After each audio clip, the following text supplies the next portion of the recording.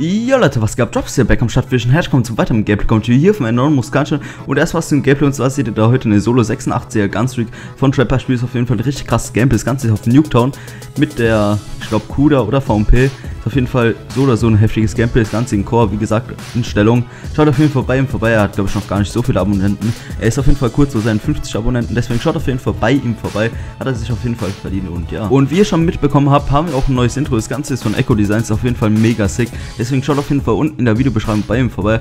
Lasst ihm auf jeden Fall ein Abo da, wenn ihr auf krasse Intros steht und wenn ihr Bock habt, bei ihm Intro zu kaufen, ist auf jeden Fall mega der krasse Designer, deswegen schaut auf jeden Fall bei ihm vorbei. Und heute habe ich auf jeden Fall eine Real-Life-Story dabei und die meisten wissen wahrscheinlich, dass ich fast nie Real-Life-Stories bringe.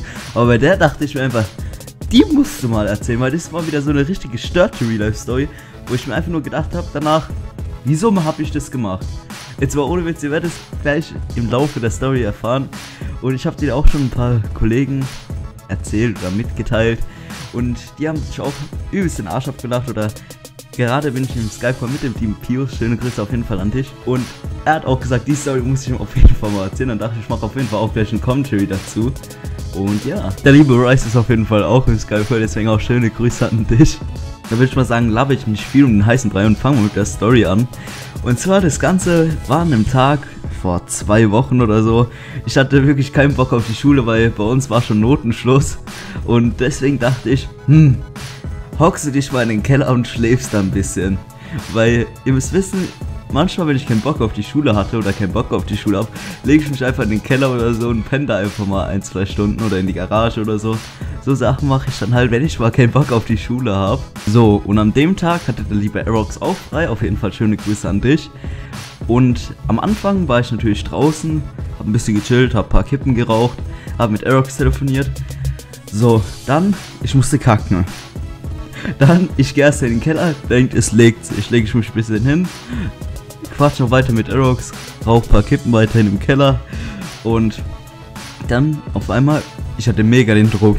ihr müsst euch vorstellen, ihr, liegt also im Keller, zockt so ein bisschen am Handy, labert mit einem und auf einmal kriegt ihr so einen richtigen Druck im Arsch. Und das ganze Problem dabei war, die meisten werden sich jetzt denken, ja, geh doch einfach hoch auf die Toilette.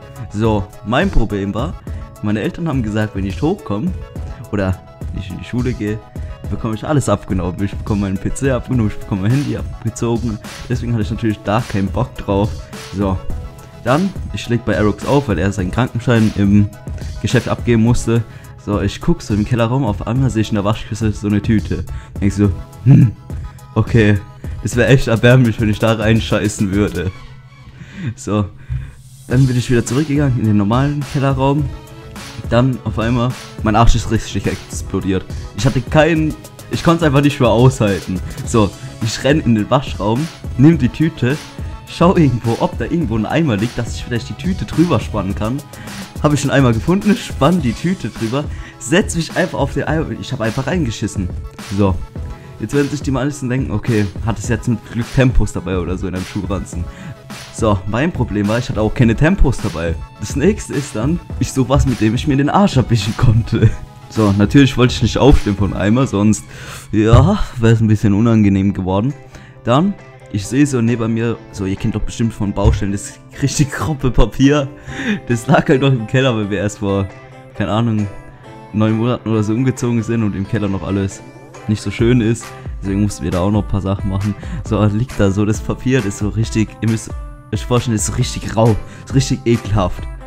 So, ich denke mir einfach, scheiß drauf, so schlimm kann es gar nicht sein. Wische mir damit den Arsch ab, okay.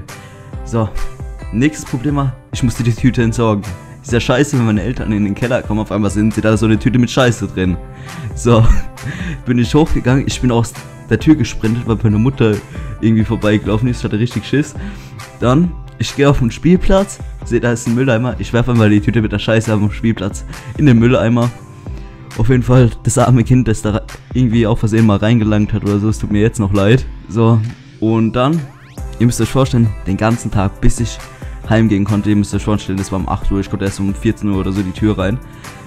Den ganzen Tag, mein Arschloch hat so gebrannt, das war nicht mehr normal. Ich war, ich, nee, das war so unnormal, müsst ihr euch auf jeden Fall vorstellen, mit so macht's mal selber, wischt euch den Arsch mal mit so Bauarbeiterpapier ab oder Baustellpapier ab. Da werdet ihr wissen, was ich meine. Und das war's auch schon zu der ganzen Video-Story. Meiner Meinung nach pure Behinderung. Lasst auf jeden Fall ein Like und einen Kommentar da, wenn es euch gefallen hat. Schaut beim Gameplay-Spieler vorbei. Schaut natürlich auch bei mir vorbei, wenn ihr Bock habt. Würde sagen, bis zum nächsten Mal. Bewerten, kommentieren nicht vergessen. Bis zum nächsten Mal. Haut da rein.